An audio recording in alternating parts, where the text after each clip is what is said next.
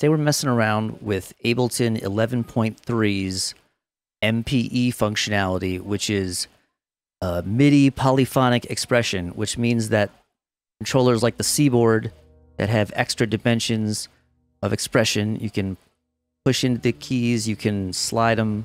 That's all natively integrated into Ableton now, including some of their soft synths. Now, I wanted to jump in and try the new one, Drift, but trying to just load up a bunch of them. They're not all either they're not all perfectly set up right off the bat for MPE, or I just don't know how to get them set up. But luckily, there is a whole bank here of MPE ready sounds, some of which use drift and some of which use uh, wavetable. I think that's what it's called, the wavetable synth.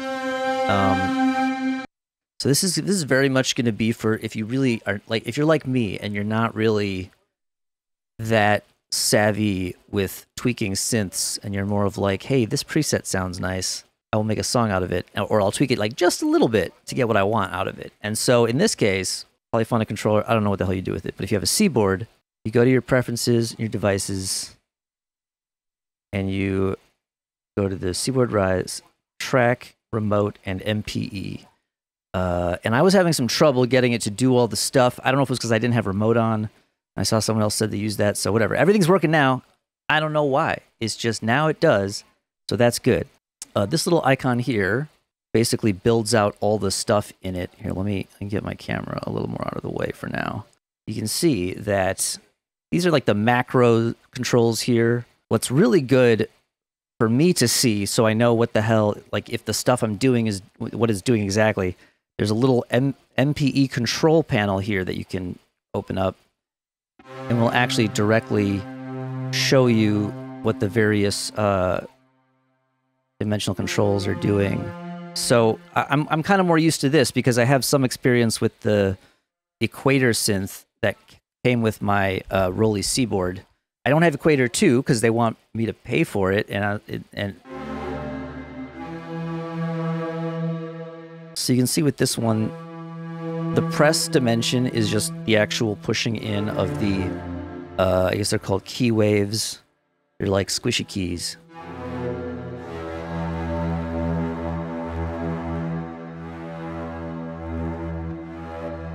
And you can remap what all those do, uh, but uh, these synthesizers are very complicated, and uh, I am very much enjoying using the presets for now. I did get my saxophone samples working again, finally. Hooray.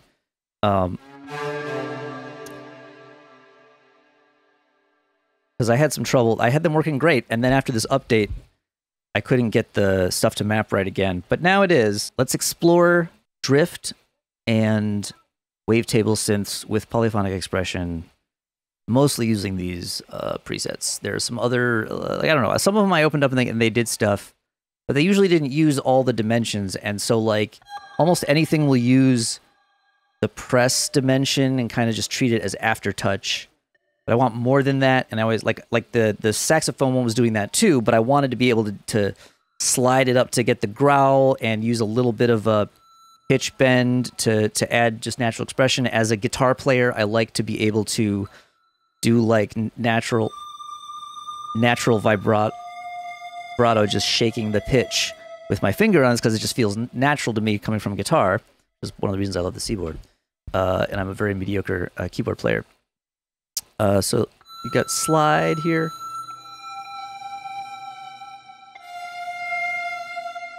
It'll show you you can map these dimensions to all kinds of crap, all kinds of different stuff. And I'm not going to get too deep into that right now because it's a lot. But uh,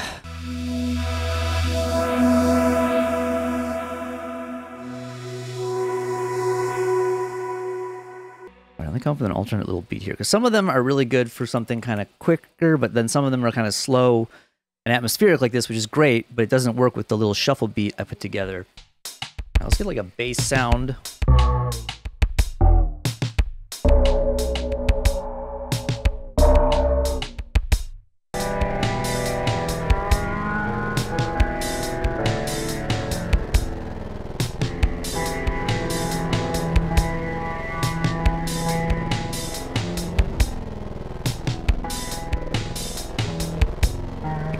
Know what the dimensions do.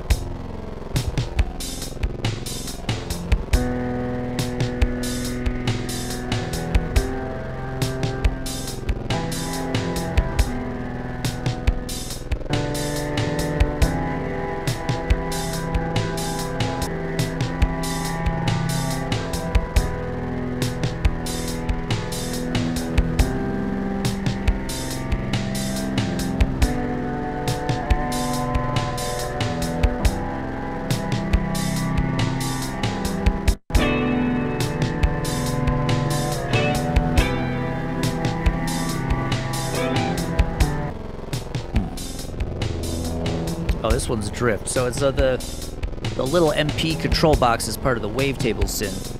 Drift doesn't have that, which is probably one of the reasons I was more quickly confused by it. And the main function in drift is supposed to be this actual drift parameter here, which is supposed to create uh, variations between the two oscillators, supposed to simulate like a, an old analog synth's imperfections, I think. But it can,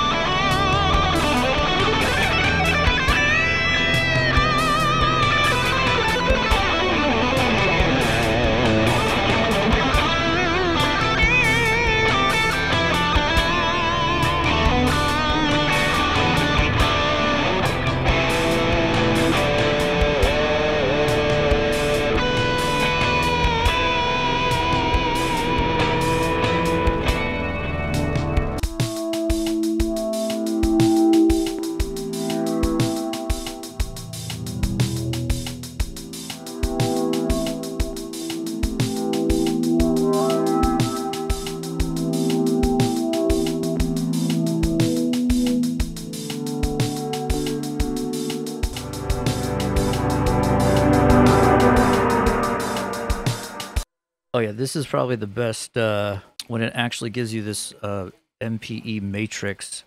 The MPE matrix here that shows uh, each parameter that each dimension of expression controls. That's pretty cool. You can see the filters controlled different degrees by both slide and press.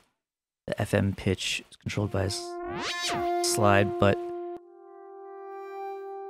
slide does a lot on this one.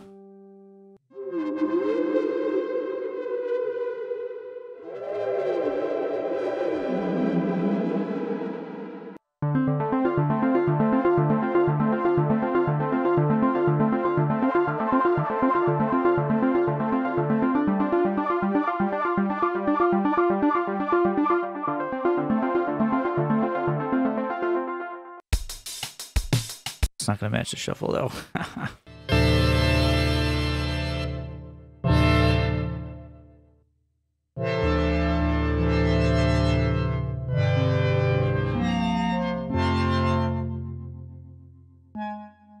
you can see I can uh if my playing is too off and I and I'm not getting the pitches right, I can just turn the uh, pitch bend parameter down or off and then it's not less of an issue. It's, it's wide. It, there's less of a.